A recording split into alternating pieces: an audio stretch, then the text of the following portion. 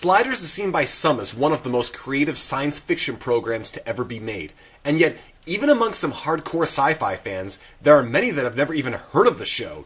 It could be because, at its inception, the show wasn't a very science fiction y show at all, but rather, the show used science fiction as a vehicle to explore human themes rather than fantastical ones.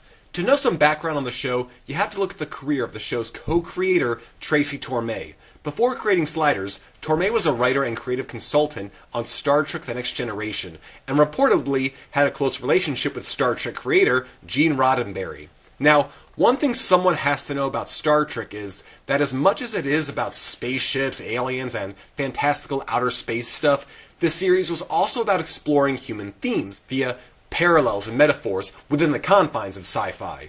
However, despite how popular Star Trek was, it was the fantastical elements and silly sci fi elements that, at least back then, seemed to keep Gene Roddenberry's beloved franchise popular with just nerds and sci fi enthusiasts rather than a pure mainstream audience. So, Tracy Torme came up with an idea of rather than explore human themes through traveling to alien planets like in Roddenberry's franchise, what if you could explore them on parallel worlds very similar to ours and yet still different. It would be science fiction, but it wouldn't be very science fiction y.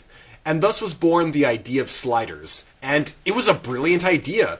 The series would be about a group of explorers that every week would explore new worlds, but instead of alien worlds, it would instead just be different Earths. The concept would save the series a lot of money versus other sci fi shows. Every week, the characters would be on an Earth, which meant they could still film the actors on location and feature people wearing normal clothes and using modern technology. It'd just be the writing and story overall that would tell you this was another world. Also, with a variety of alternate worlds, the show could bounce between different genres. Based on what was going on in each world of the week, the stories could be light-hearted, action-adventure oriented, act as a political satire, be a dark comedy, explore deep philosophical themes, or do a combination of those aforementioned genres.